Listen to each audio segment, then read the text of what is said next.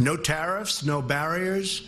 That would, that's the way it should be. President Trump demanded America's top trading partners end all tariffs. We're like the piggy bank that everybody's robbing. It's going to stop.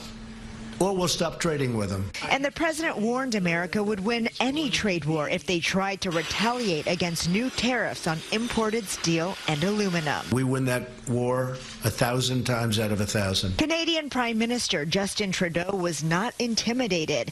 Canada is moving ahead with new trade tariffs July 1st. Applying equivalent tariffs to the ones that the Americans have uh, unjustly applied to us. President Trump tweeted that it was that press conference that caused him to instruct U.S. representatives not to endorse a joint statement vowing to work on easing trade barriers.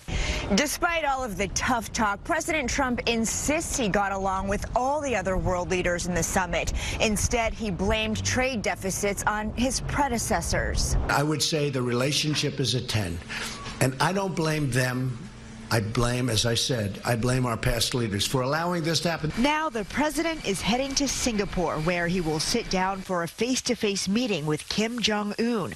He said it won't take long to determine if Kim is serious about denuclearization. How long will it take to figure out whether or not they're serious? I said maybe in the first minute. The summit is scheduled to begin on Tuesday. Weijia Jiang, CBS News, Quebec City, Canada.